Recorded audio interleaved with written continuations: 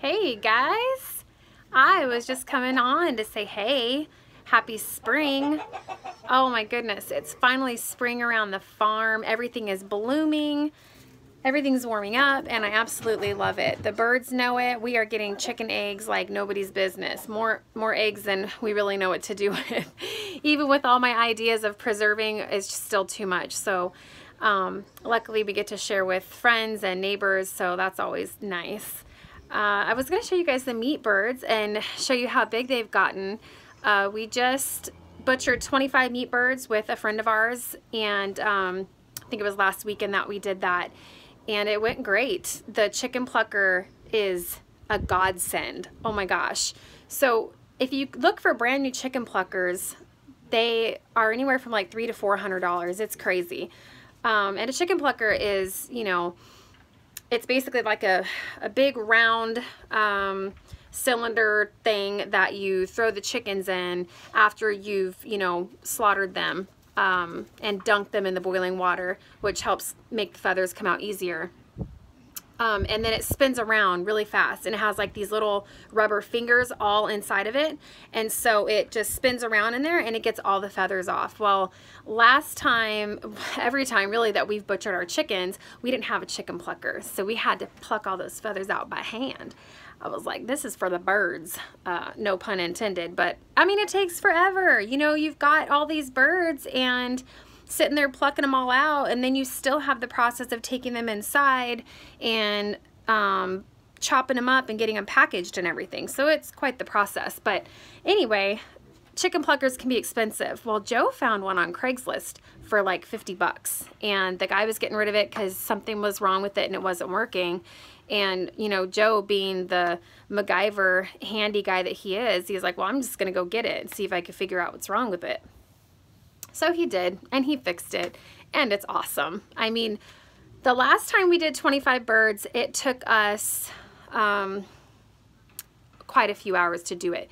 This time we were done from beginning to end. Um, I think it was like four hours, and that's, you know, everything, packaging them up and all of that. So it was amazing. I was so excited about that plucker. Um, so we've got our, our last batch of 25 birds that are going to be ready to be butchered here in the next week and a half, two weeks. Um, so I'm really excited to get some fresh meat. The last batch we did for our friends, they paid for the chickens and paid to have them stay here on the farm with us and um, actually came out and helped us with the whole process. So that was kind of cool. Um, but you know, we're excited to have our own meat.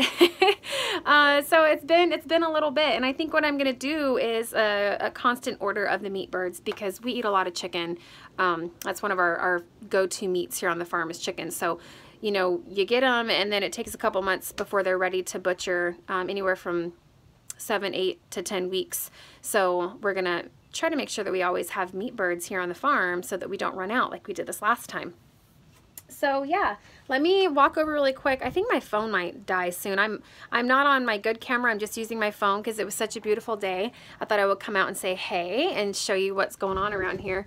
Um, first, let me show you who's checking checking us out here. Got Gracie and Sarah. Look at that beautiful cow. You enjoying this spring weather, Grace? Yeah? She's drooling. I was standing in the stanchion, which is where we keep all the treats.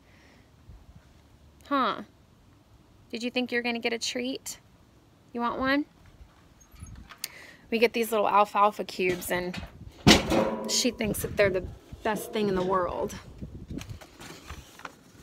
Huh, Grace? Yeah. Come here. Come here. Come on. Oh, what is that? Good. Oh, oh. Come here. Come here. So she's leery of the electric fence. That's why she's acting like that. Kind of sucks we have to have the electric fence for Luke because he destroys everything. And Gracie's just so sweet. She wouldn't hurt a fly. Well, she would hurt flies. She hates flies, actually. Look at Sarah's back there. Give mom alfalfa and then I'll go get the udder. In the caddy. It's, yes, it is. It's down in the caddy. Go look.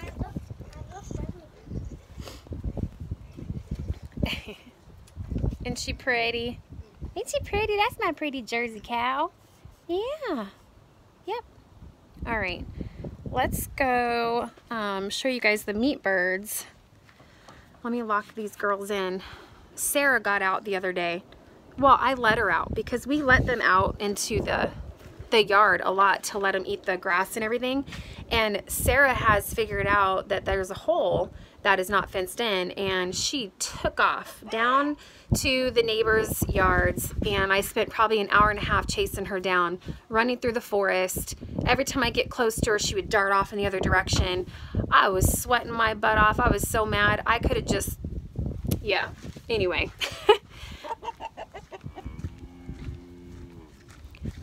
so use one of the other erasers use a different eraser on a different pencil homeschool problems. No, no. It's creative writing time. So Parker, he hates creative writing, which is crazy to me because I love writing. You tell me a topic and I could just go on for days. But he's like, a story about butterflies? Um, there once was a butterfly. And then he just stops. And I'm like, dude, you got a whole page. You better get busy. So he likes to come up with reasons why he can't do it. This time it was he couldn't find the eraser, even though there's like 20 pencils right in front of his face with erasers. Anyway, let me show you guys these meat birds. Hey, little babies. Got 25 of these bad boys. See how big they're getting? Yep. I turned the light off today because it's warm. It's nice. It's like 65 out here. Hey guys, they're chilling. I like to open up the chicken tractor, even though it's movable and we've been moving it around the yard. They like to come out and explore, and I'm okay with that. They have a hard time walking because they're so big. Look how big their feet are compared to their, their bodies.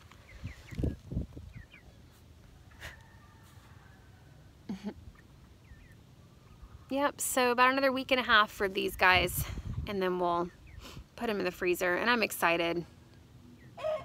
Like I said, we are in, in desperate need of some chicken stock. And I'll get it from the store if I have to, but I don't want to. So, I don't know, we'll see. Joe's family's coming to visit us for the first time, so we're really excited about that. And I told them, I said, you know, the chickens are due to be butchered when when your family's here. He's like, so?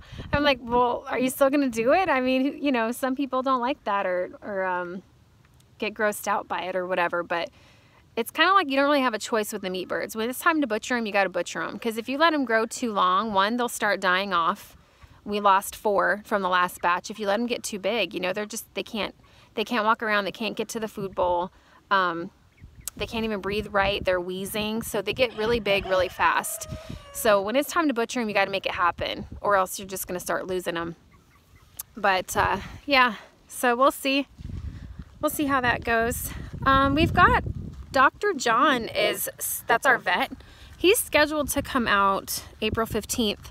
And we're going to go ahead and artificially inseminate Gracie like we did last year. Um, for those of you that don't know, that's our dairy cow.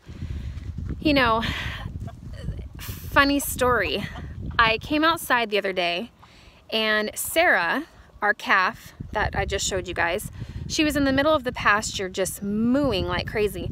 And I'm like, what in the world? Because she's a pretty quiet calf. I mean, she doesn't really moo that much. So I thought maybe she was stuck in the mud or something was wrong with her. So I came out here and she was just mooing like there was nothing wrong with her.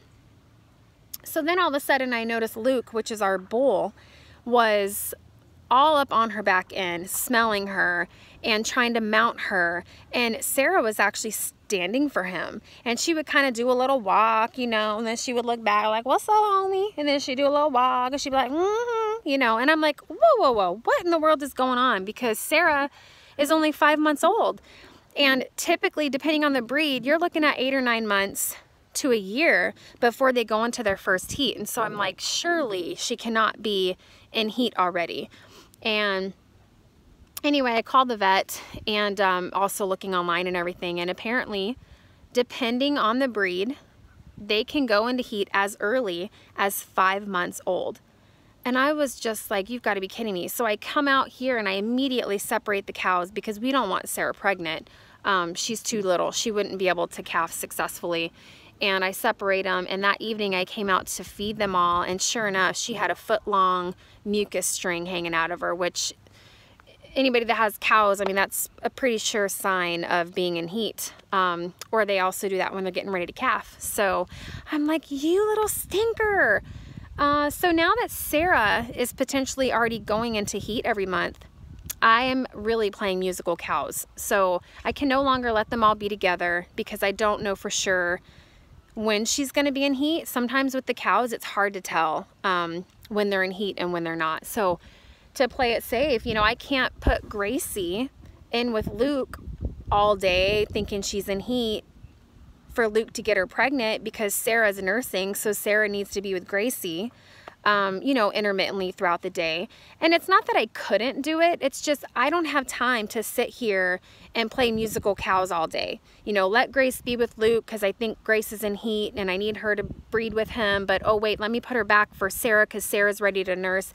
Ain't nobody got time for that. So we are uh, thinking about butchering Luke. Um, kind of sad. You know, we've had him since he was three days old, and our purpose for getting him was uh, kind of windy out here was so that we would have our own bull here on the farm for breeding, and that we wouldn't have to worry about paying for artificial insemination. Well, I'm learning quickly that paying the vet to come out and artificially inseminate Gracie once a year is much more inexpensive than feeding this bull all year long, fixing everything that he's breaking, the fencing, the feeder troughs, he breaks them. He broke the duck house. I mean, he literally flung it up and had it upside down on the ground. Um, we had to pay to electric, uh, put electric fencing up because he was breaking the fencing and getting into the neighbor's yard. I mean, it's just been one thing after another with Luke. And, you know, I can't go into his pasture to feed or water or clean out the stall without having the whip, you know, some way to protect myself. Because even though he doesn't mean to hurt me, he will hurt me. Uh, you know, he's strong and he's full of testosterone, and it's just, it's hard. And on a small farm like this, where we're not in no big production of, you know, milk and whatever, we're, we're getting Gracie pregnant every year so that we can have a calf every year so that we can have fresh milk all year long. And then keeping her calves to um, raise for meat. That's our goal. So it's just kind of looking like the benefits are not outweighing, you know, all the cost to have the bull on the farm. And really there has been no benefit at all yet. You know, we put them together January when Grace was in heat and she didn't get pregnant. So, um, anyway, we still have bull semen with the vet from last year. And, uh, we're just going to go ahead and have her inseminated because we're already behind schedule of when we wanted Gracie to be pregnant. And now we're looking at having a winter calf this next year versus a fall calf, and which is fine. It's just, you know, we're just getting later and later every month that passes, and I need her to get pregnant so that we can continue to have milk next year. So, yeah, I already scheduled it. So, He'll be out here April 15th to do that. Hopefully that's successful. It's not always successful the first time. It was last year for Gracie. It worked out great. So that's that's what we're going to do. And, um, you know, Lukey's... Lukey, we'll see. Joe's not done with the butcher uh, freezer that he's building. So I guess we've got some time to think about it, you know, what we're really going to do. But um, I'm that's that's what we're leaning towards. So anyway, we'll see we'll see. I, I, I feel bad. And I know it's like some people are like, oh, that's so sad. How can you do that? And it's like, you know, it's different when you're out here. It's different when you're out here on the farm and you're paying to feed them every day and you're doing the physical work of cleaning out the stalls and building everything that they need, the shelters, you know, all that stuff. It's different. And you start to realize, you know, what are the real priorities here? Um, a small homestead like this, I just don't think that we need a bull. I think that the cost is just definitely outweighing anything that he could do for us. You know, I pay the vet 90 bucks to come out and inseminate Gracie. $90 once a year versus everything that we've gone through this year with Luke. It's just not, it's not productive. So show you guys little Sarah. She's drinking her milk. I'm excited after we wean Sarah off of Gracie, probably August time frame. I'll be back to milking Gracie every day because I won't have Sarah's help. And then I can finally get some of that cream that she's been holding back for the calf. Look at her. you got milk bubbles. Milk bubbles, Sarah. Hi. Oh, yeah. Good stuff, huh? Good stuff. She's so big. She's half the size of Grace now. Anyway, I just wanted to come on and say hi to you guys. We've been so busy working on the greenhouse and getting everything ready. I haven't been able to put together um, some of my videos that I've been wanting to do, but I just wanted to let you know I'm still here and show you guys what's going on on the farm. Hope you all have a great day and you have a very blessed spring season. Talk to you later.